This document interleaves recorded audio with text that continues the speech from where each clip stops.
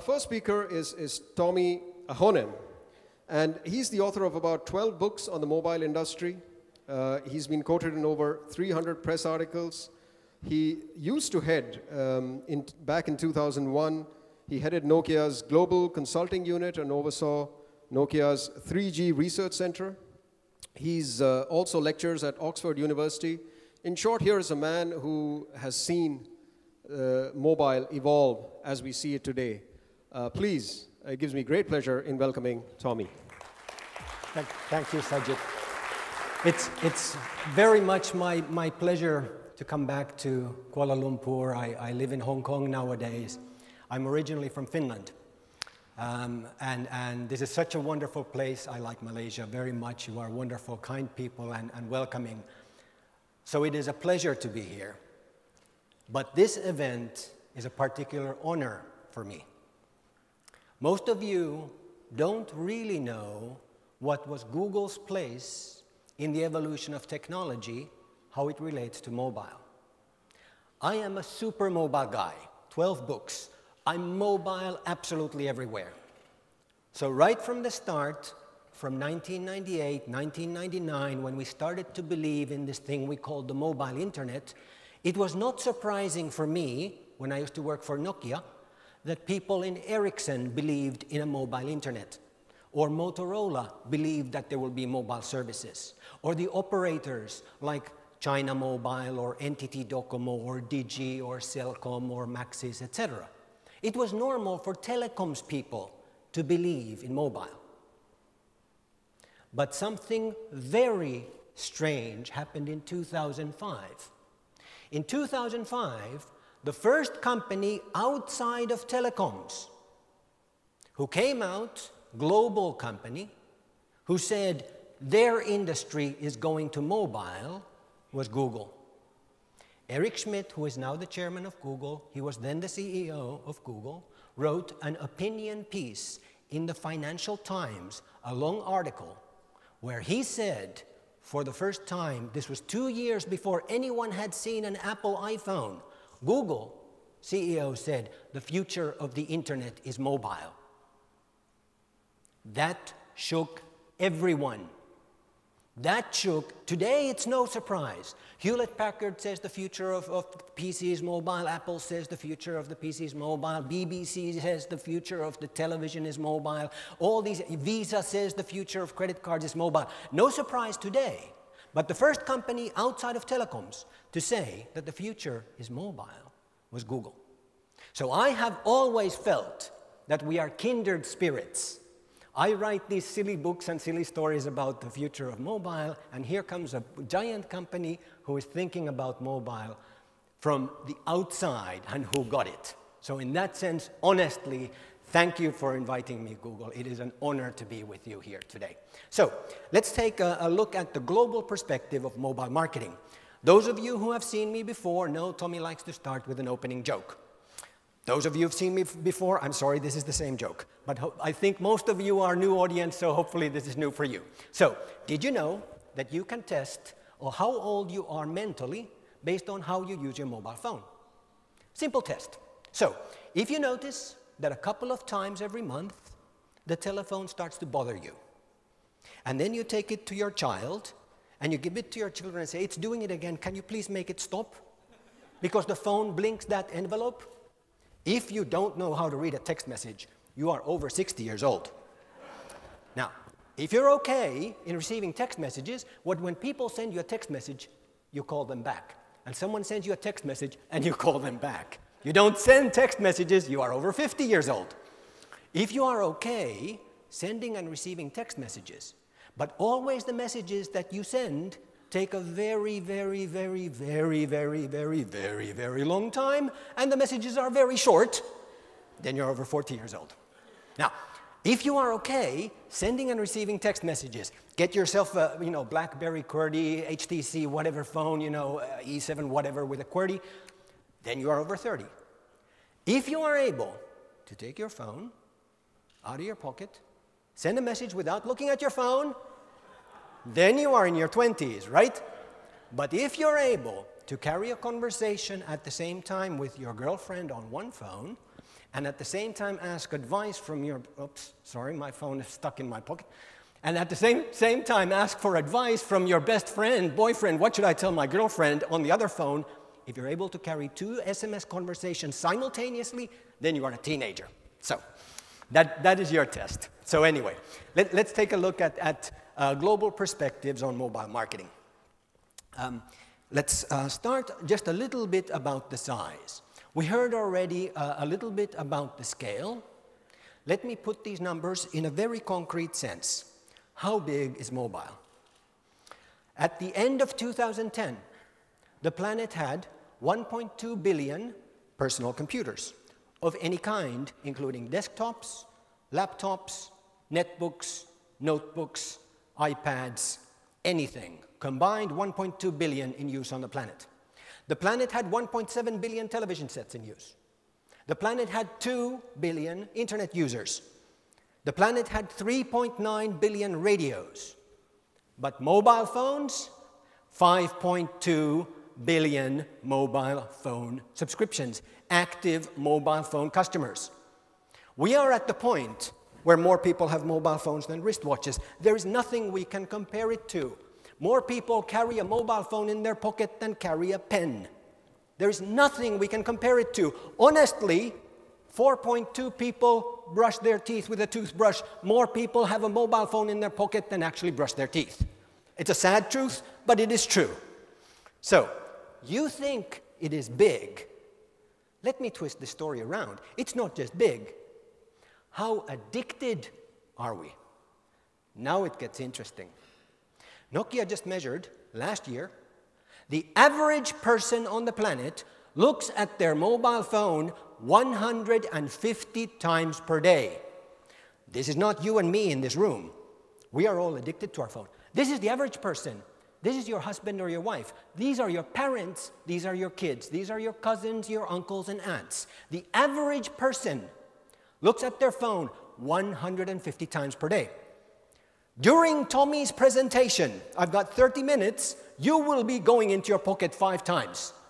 Because the average person looks at it every six and a half minutes of every waking hour of every day.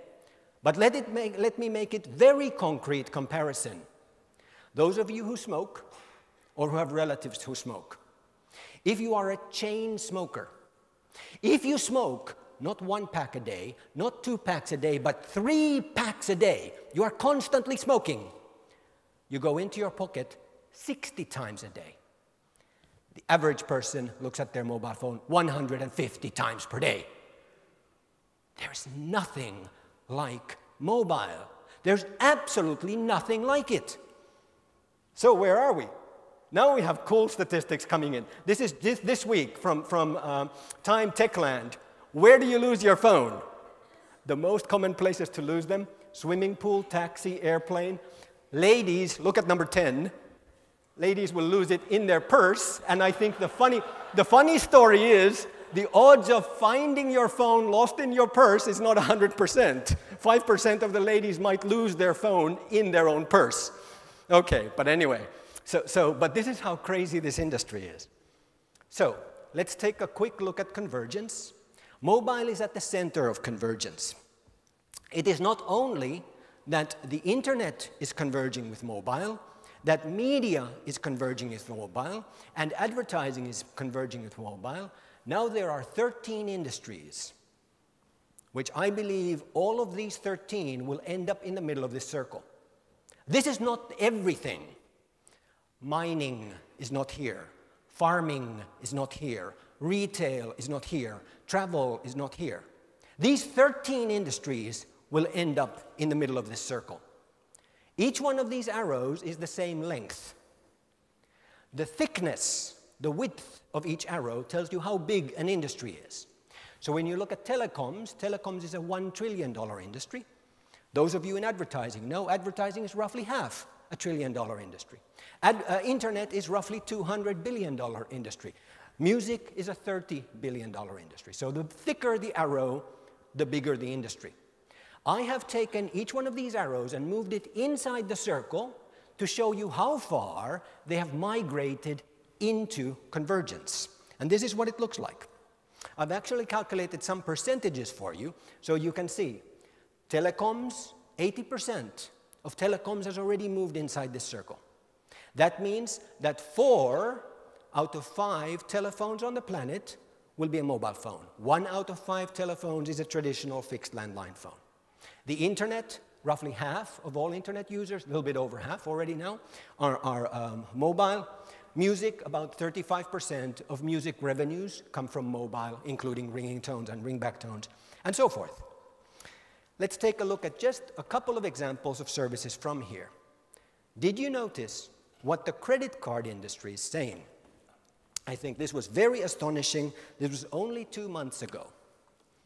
Similar to what Google told us back in 2005, Visa is the first major financial institution, global financial institution, which makes this bold statement, the bottom bullet point in blue. The future of payments is mobile. They are specifically talking about mobile phone payments, not near field, not, not uh, contactless, not oysters, not Octopus. They're talking about mobile phones. The future of payments, Visa says the future of payments is mobile. They also tell us the future of the Visa card, the Visa card of the future, is a Visa mobile card. This is huge. This is an absolutely enormous opportunity that is coming inside this circle. How about advertising? Did you notice this? Ford has gone completely mad. Mad as in mobile advertising. First, global advertising brand, which said they shall not do more consumer advertising about Ford cars unless the advertising campaign includes mobile. It doesn't mean they are exclusively mobile campaigns, but every single campaign Ford does from now on will include mobile.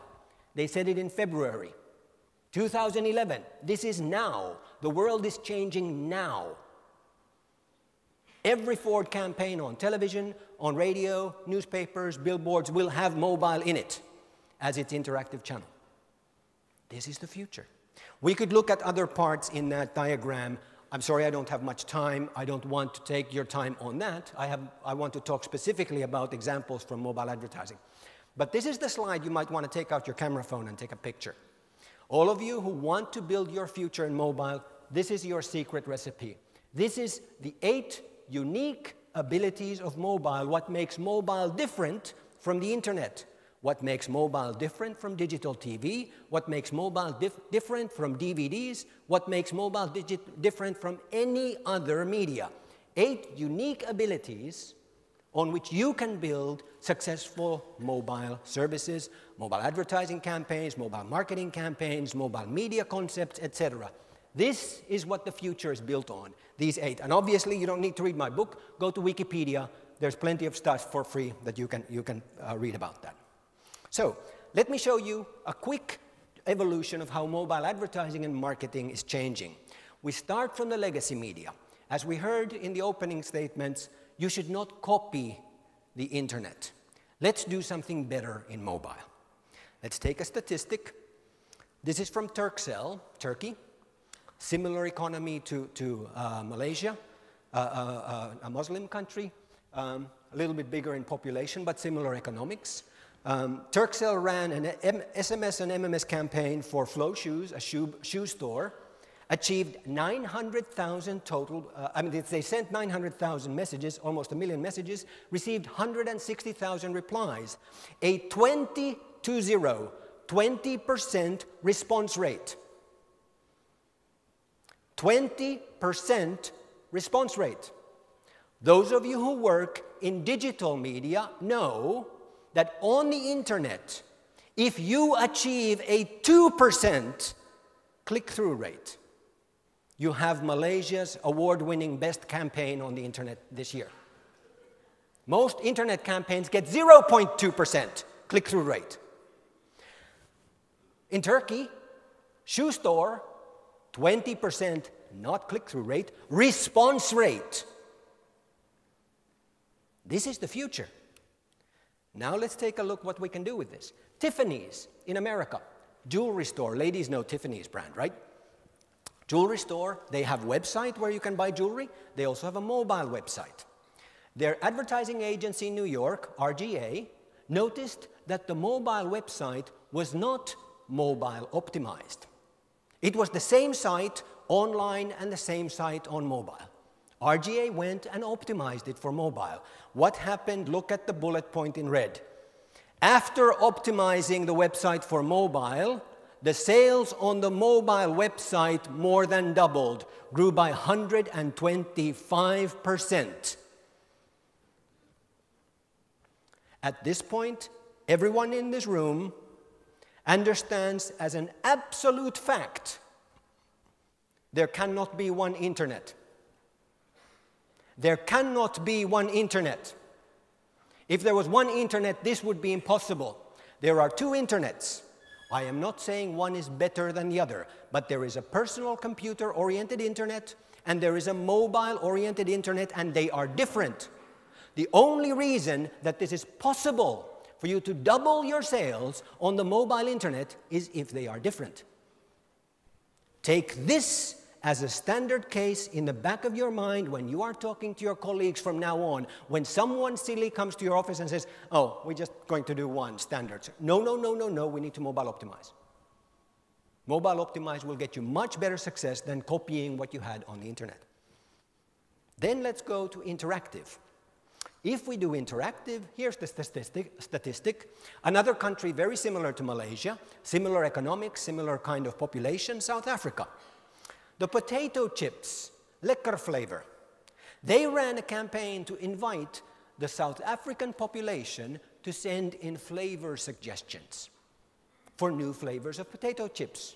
How many responded? This would be very similar response probably in, in uh, Malaysia, 187,000 recommend uh, ideas. What do we want to taste in our next potato chips? This is the way it will be in the future. R&D development, we ask for our audiences to come and co-create with us, to participate in the creation of our brand and the experience and how it evolves. Dunkin's Donuts has done this in America, Lay's has does, done this in India and so forth. Let's take a concrete example, what can we do today? Perhaps the most astonishing story right now from South Korea, Home Plus. This is a subsidiary of Tesco's. You look at this picture and you see this is a subway station. These people are going into the subway train. They're going into the train. There are, there are billboards at the subway station with pictures of the groceries from the store milk, Coca Cola, orange juice, cornflakes. Here's a close up. See, the guy comes close to the picture, takes a picture with his camera out of a QR code, and orders the food. I need two bottles of orange juice, I need three bottles of, of milk, and so forth. The food is delivered to his home, same evening. Imagine how much time this saves when you don't have to go to the grocery store, while you are waiting at the subway station, and you get to do your grocery shopping. Imagine how much money this saves for the store. How expensive is it in Kuala Lumpur to buy that little 7 Eleven store and pay the rent for your little grocery store? And suddenly we can do it on a poster. We can do it on a picture, on a billboard. This is the future of shopping, mobile. And then let's add viral. When we add viral and we are using unique abilities of mobile, let's go to another country similar to Malaysia in its economy, Poland similar size population. Orange in Poland, one of the networks like Maxis or Digi or Celcom here, ran, ran a, a campaign with BMW to do a, a daily uh, prize award uh, to bin, win a BMW car. They ran little quizzes on SMS. Nothing strange about that. The clever part, those people who forwarded the quiz to their friends had an added chance to win the car. Clever. Viral marketing. You get your friends to support your brand. How successful? 1.5 million people in Poland participated in this. Opt in database for BMW marketing. In Malaysia, 1.5 billion people right there You do this for Toyota, you do this for Ford, you do this for Volkswagen, whoever, whatever's your car brand that you are support, you're now having your campaign for. Run this campaign. How successful is this? This is one of a dozen different mobile campaigns invented by the, the mobile advertising guru for the car industry, Mark Mielau, the head of digital for BMW. You know what happened to Mark? After he had all this success with BMW, you know what BMW did to him? They, they rewarded him. He's today the chief marketing officer of Rolls Royce. You do your mobile stuff well, and you can get a good promotion. Chief marketing officer of Rolls Royce after succeeding with mobile marketing. That's awesome. Anyway, so what can we do with this? Another car example from Sweden. Mini ran a campaign in Stockholm. Steal the Mini. In this, you have a Mini, which is virtual car parked in Stockholm. You have to go to a map on your phone and find where it is parked. And then you go and you steal the car. I caught it and I have it. And then I run away. And you all see on your phone where a guy is and you chase me. Whoever catches the car runs away with it the person who has it at the end of the game wins the real mini. Awesome game, right? This is the kind of stuff we can do with mobile. Completely different from doing traditional television advertising or copying a website. Then we want to do opt in. Take the statistic from Japan McDonald's has achieved 20 million opt in Japanese consumers signing in for McDonald's advertising. Opt in McDonald's advertising. This is absolutely crazy. Malaysia, your age population pyramid is like this few old people, lots of young people. Japan is like this. All old people know young people, right? Japan is a fish eating country. Sushi. where do they get 20 million Japanese to, to even sign up for McDonald's, to even go to McDonald's. But one in six Japanese has volunteered opt in for McDonald's coupons. If McDonald's can do this in Japan, you can do this in Malaysia. It just takes time. You need to work at it. And notice 10 million of them, half of them, redeem coupons monthly. Several of them, millions and millions of them daily. So, what can we do with this? Let's go to Hong Kong the, the Guinness uh, campaign with the rugby tournament, the Sevens. Guinness created an advertising ap application for the mobile phone. It is a sporting application. So, because it's the rugby tournament, so you see the scores, which team won, which team lost. It has the statistics, who are the best players. You get the biographies of the players and the coaches and so forth. You see the venues where the events are being played. It is also a tourist guide for Hong Kong because this is for foreign tourists coming to Hong Kong to, to watch the tournament. You see where your hotel is, the subway map, where's the airport, where's the bank, where's the, the restaurants, and so forth.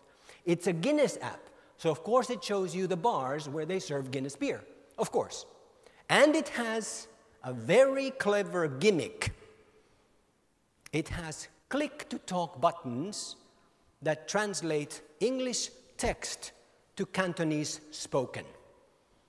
So an Australian tourist who comes to Hong Kong takes a taxi. You all know Hong Kong taxi drivers don't speak English, they only speak Cantonese. Press the button and your phone will speak Cantonese. Tell the taxi driver to take me to the, to the hotel or tell the bartender I want to buy a Guinness or you tell the pretty lady what's a beautiful lady like you do doing in a bar like this, you know, and, and but Guinness beer spirit. How successful? 25% increase in Guinness sales. This works. This is different. This is powerful. Then we go to engagement marketing. The ultimate in mobile advertising is engagement marketing. Most of you, if you go to your marketing professors, they cannot properly even define engagement marketing. Engagement marketing was invented by Alan Moore my co-author of my fourth book. And this is the definition of engagement marketing.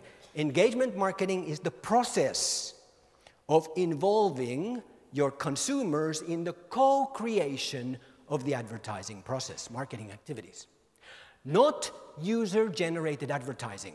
We are not asking for the users to use, for the consumers to use their camera phones to create little advertising for, you know, Harley Davidson or, or whatever. This is co-created advertising, co-created marketing. You create a format for the consumers to be able to co-create with you. Why do you do that? Alan Moore tells us people embrace what they create. If you let your consumers co create with you, they will become your fanatics. They will become your proponents. They will become your ambassadors. What Jonathan MacDonald talks about the army of fanatics. This is how you build them. So let me show you an example. Here we go with a statistic from China. North Face created a nice little contest, Conquer China. It invited China, it's the sports, sporting goods uh, brand. It invited the, the Chinese people to go and, and plant little red Chinese, uh, little red um, North Face flags anywhere in China. And they had big billboards that showed the China map. So someone conquered, you know, the Hilton Hotel in Kuala Lumpur, and someone went to the, Kuala, to the, to the uh, international airport, and someone went to uh, Sepang you know, Formula One uh, circuit and so forth. So conquering places. Plant your flag. Whoever is first there to plant the flag conquers the place. They achieved, this is China, 651,000 virtual red flags. Sales, each time you planted a flag, you got a coupon to go to the store, discount. Sales increased, more than doubled, 106% increase in sales. This works. Amazing. And what do we want to do with this? Example from Japan. The deodorant wake up girls from Axi. This is for teenage boys who want to be woken up by sexy girls. So they have eight real Japanese girls. Each one of them has been modeled into an avatar. You pick your favorite girl, you down the, download the girl onto your mobile phone, and tomorrow morning you don't set an alarm on your phone. Tomorrow morning, your phone will go, Hi, Tomi. It's time to wake up. And don't forget to use your deodorant. Deodorant sales up by 300%. 200,000 unique users in Japan. This is the kind of things we can do. So, I want to end on a thought that I would like you to try to keep in mind. Let's make mobile services magical.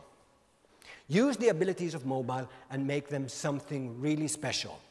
The example from Japan, iButterfly, which has just flown into to Hong Kong, just now launching in Germany.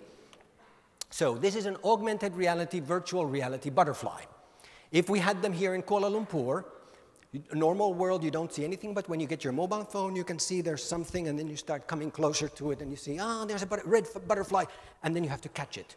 To catch it, you have to do that like with a real butterfly, to catch it. And then you catch. There's one butterfly from, from, from Kowloon, there's another but butterfly from, from Central, there's another butterfly from, from uh, Wan Chai, and so forth, different parts of Hong Kong. You collect them all. Every time when you collect the uh, butterfly, you get a discount. You get a coupon, in this case, for uh, Pacific Coffee in Hong Kong.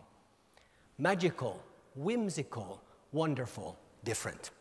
So, to end a thought from someone who's been thinking mobile for a long time. Eric Schmidt now tells people outside of Google, and he says, put your best people on mobile. You are in the right room. This is the biggest economic opportunity of your lifetime. Mobile. Make the best of it. I want to end on four thoughts. Mobile is not just the biggest, it is also the most important medium. When you do things on mobile, don't copy the legacy media, use the unique powers of mobile. When you do, learn what is engagement marketing and build that loyalty on that repeat behavior with your consumers and customers. And when you do that, make your concept magical. That's all I had prepared for you. Thank you.